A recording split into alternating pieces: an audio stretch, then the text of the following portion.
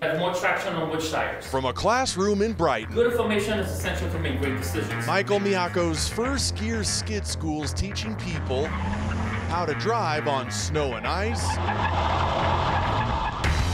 even when there's no snow and ice. First, we're going to be simulating front wheel skid, then we're going to do rear wheel skid. Using a hydraulic system on an SUV to simulate adverse weather, and now This is a step up.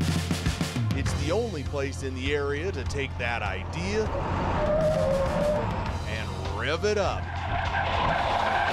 There's nobody around, even sister states, that has uh, that is able to simulate driving on snow ice with a truck. Putting a hydraulic system on 15,000 pounds of rolling steel. 15,000 pound vehicle, we're able to put in a skid situation, a spin out, teach people how to recover from um, adverse weather conditions. linking it to a computer in the truck. Very fun to drive. So, with a touch of a button, they can change the road conditions. We can make it seem like it's dry, we can make it seem like it's black ice, and pretty much anywhere in between that.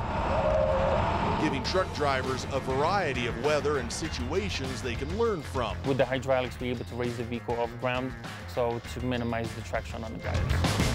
And while this truck can spin and slide with ease, the idea is how to teach drivers how to stay in control. The idea is to teach you how to drive so that you're not skidding out. So when the snow does roll in, To educate how to handle that vehicle, Michael says they'll be ready. so they can be safe on the road, go home in one piece.